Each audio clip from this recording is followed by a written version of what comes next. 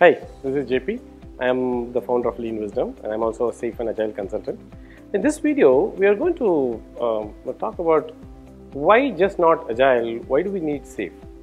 What agile doesn't get us that we need SAFe. Yeah.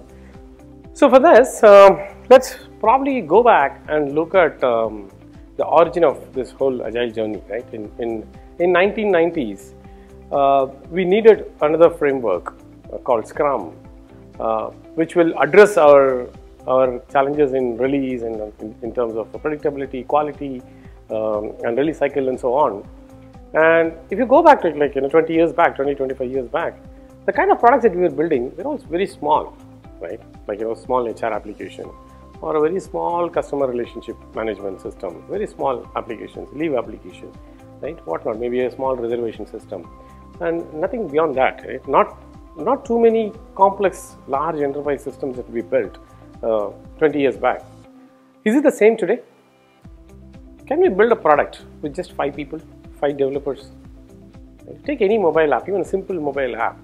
Do you think they would have, we can build a, such an app with, with, with just four, five developers or you know, maximum nine, nine developers? Is that possible? No. What does it mean? Agile is just not enough. Is Agile great? Absolutely. Agile is great, right? Because it has brought a lot of discipline to our whole execution, right? So Agile and Scrum has made a big revolution in our industry, in the software industry, right? And we have really built a good products, a lot of good small products in the past.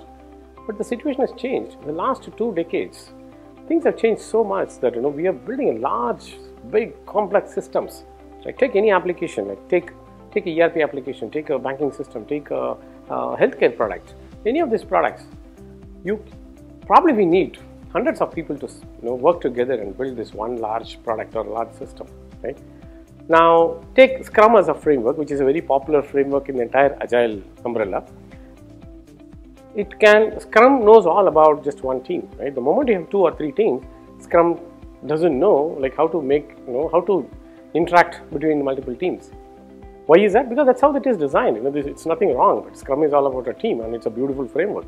But it is not enough now that's where we need you know one more scaling agility in this and and in scaling agility SAFe is the most popular one for for various reasons because it's proven it is uh, it's tested and it has been uh, it has evolved in the last uh, seven years, seven, eight years, and it has become one of the most stable, robust framework. Yeah. When do we really use SAFe? Let's look at one by one. Number one, as we discussed, when you build a large system, a big system, and that one team cannot build, right? You probably need minimum 50 people or 100 people to build one large system.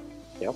Now that we are building such a large system, how does your product vision you know um, or a program vision and you know roadmap look compared to an agile team agile team or a single agile or a scrum team their, their roadmap is probably they have a good decent roadmap but all that the backlog that they have a clear backlog is all about just one or two sprints nothing beyond it right and that's okay because it's all about dynamic backlog and you know having a uh, you know a backlog that can change right beyond the current sprint and so on that's a power of uh, agility but will that be a power in, in, in a building a large enterprise system? No, because we are building a big system and that needs a lot of thinking. That needs a lean approach. That needs a uh, that needs a large vision, long-term vision. That needs a beautiful roadmap for at least multiple quarters or multiple year roadmap, right?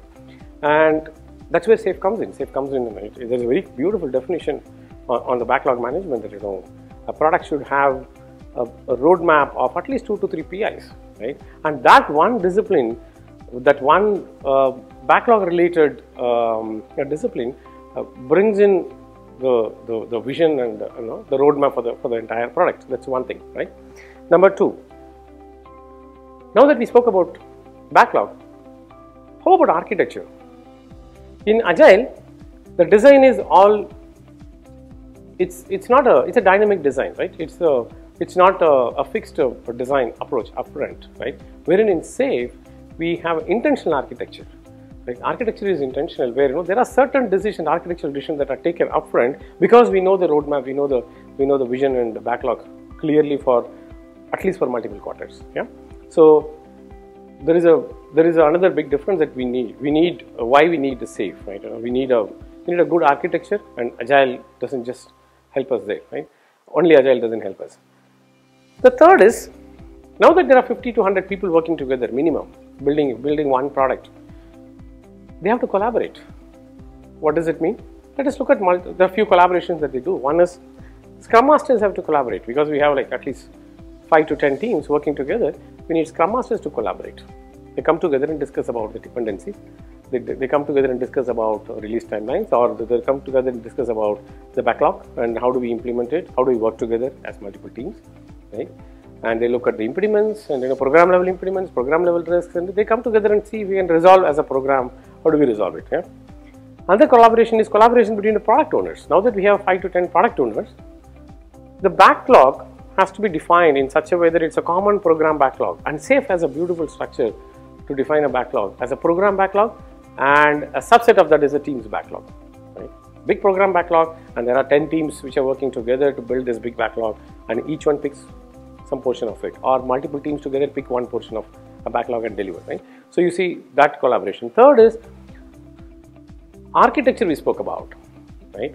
Architecture is all about a common architecture. Choosing a let me give an example. Choosing a database. Choosing a you know multi, uh, multi-tier architecture. It can be cloud or it can be a three-tier architecture. It can be any any any architecture that's finalized that has to be common across, right? So there is a lot of collaboration between the technical teams, the, the development teams, and the architect, right? That's that's another collaboration. So you will see multiple such collaborations that require, you know, um, for the for the, all the teams to come together and build one product in a, in, in a in, a good with a good quality, right? So collaboration.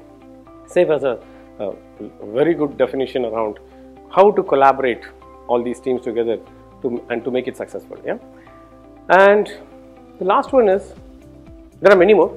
In my view, this is one of the other big thing is alignment. More than a, beyond collaboration, there is also a lot of alignment required. Alignment in terms of quality. What does quality mean to me as my team? What does the quality mean to this another team? Do we have a common definition of quality? Right? When I say like you know, how do I say which defect is critical for us? Right? A, a team in you know, team A in, in a program and team B, in, team B in a program should have a same quality definition. The, the definition of done should be same.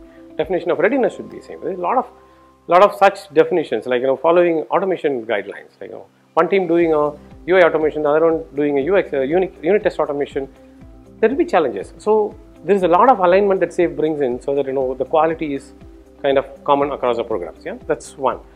Uh, backlog structure following a feature as a backlog, following user story as a backlog, um, following the format of the user story with acceptance criteria, and so on. When it is common, it becomes much more easier for the entire program to deliver a better quality product, a better product in a shorter time, right? So uh, there is another alignment, right? So we dependencies. The teams have to come together and discuss a lot about dependencies and align there, right? And architecture we spoke about. So you will see at least you know a dozen a similar alignment, you know, reasons for alignment for as a program, which Agile does not address, which a SAFe addresses very beautifully. So this is a, these are all the predominantly a primary reasons for for for following SAFe to implement a large system, right? So hope this video is helpful for you. Thank you.